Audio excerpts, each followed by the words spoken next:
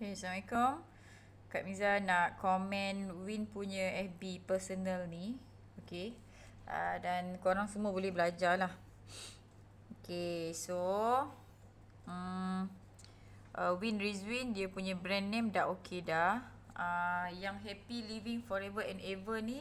Uh, should be okay. Tapi lagi okay kalau kita letak uh, siapa diri kita. Uh, kan? Coach, uh, business coach uh, pakar senyumkan manusia uh, pakar senyumkan manusia yang itu dah okey sangat-sangat dah. Okey uh, alright so uh, congratulations untuk Win sebab dia baru buat uh, Facebook personal ni bulan 10 atau 11 tahun lepas tapi dah hampir penuh dah. 4000 orang dah dekat 5000 dah. Okay, so hanya ada 16 mutual friend. Bermaksud hanya ada 16 orang saja yang uh, mungkin buat forever. Okay, so yang lain tu ada prospek, very good. Okay, uh, okay, ni posting win, tengok eh yang semalam punya. Uh, okay, 12 jam, okay, produk. Produk. Okay, ni pun produk. Okay, yang ini boleh tarik uh, user and uh, business juga. Ni again produk juga. Okay, so produk juga. So apa yang Kak Miza nampak dekat sini adalah uh, Win uh, terlalu banyak post pasal produk. Okay, so um, untuk buat branding, untuk buat personal branding dekat kita punya Facebook, pastikan kita ada post pasal lifestyle, pasal uh, business and pasal produk. Okay, uh, 6, ha, 6, 6 posting sehari. Uh, paling banyak dua posting je uh, kita boleh post pasal produk, empat posting lagi pasal lifestyle dan pasal uh, pasal business. Uh, okay, so macam mana nak nak post pasal lifestyle and business? Uh, share uh, kita coaching downline kita, share kita tengah belajar, uh, kita tengah uh, tengah belajar and then kita share testimoni kejayaan uh, business uh, macam tu. Okay, so lifestyle pun nak kena ada cerita pasal diri kita. Ah macam tu. Ah okey sebab apa? Sebab kalau kita cerita pasal bisnes, pasal produk, uh, kita punya prospek tak engage dengan kita punya uh, posting tau. Jadi uh, in order untuk kita uh, bagi kita punya prospek uh, apa ni?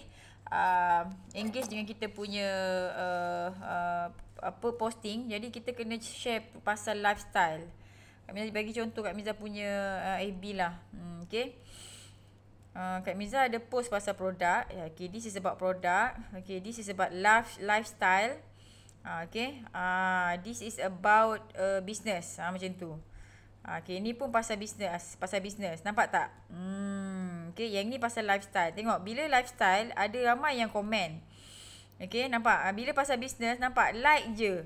Tak komen. Nampak ni? Ha, satu komen je. Ha, tengok, bila pasal lifestyle, nampak tak ada komen ni kat sini? Ha, kan? Ha, tengok bila pasal produk ha, memang like yang kau like je lah komen tak ada. Macam tu. Okay so kat minta nak korang semua faham uh, rules ni enam posting um, apa kalau nak post semua pasal business pasal pasal business and pasal lifestyle pun okay. Okay, tapi uh, seminggu tu mesti kena ada post pasal produk sikit lah so that orang tahu kita buat bisnes apa, kita jual produk apa. Okay, so yang paling bagus, enam posting, dua produk, uh, empat lagi ni uh, sama ada lifestyle ataupun business. Uh, macam tu. Okay. Alright. So, dua lifestyle, dua business pun should be okay. Uh, so, apa yang Kak Miza tulis dekat Kak Miza punya profile. Okay. Gambar ni dah menunjukkan. Gambar ni. Uh, apa ni? Ni apa? Uh, profile cover. Uh, cover ni dah menunjukkan uh, Kak Miza uh, apa ni? Leads big team lah. Uh, leader-leader yang berjaya macam tu. Okay. So, gambar yang tengah ni gambar Kak Miza dengan suami. Okay. Uh, jadi uh, boleh letak gambar kita je ataupun letaklah gambar dengan suami senang sikit. Okey nampak tak? Okey Hamizah Hamdan ni adalah branding kat Miza, personal branding kat Miza. Okey business coach, digital marketing trainer, international speaker. Korang boleh letak business coach, digital marketing trainer and pakar senyumkan manusia. Boleh juga. Okey so dekat sini yang pak director apa benda semua sekali ni kena buatlah.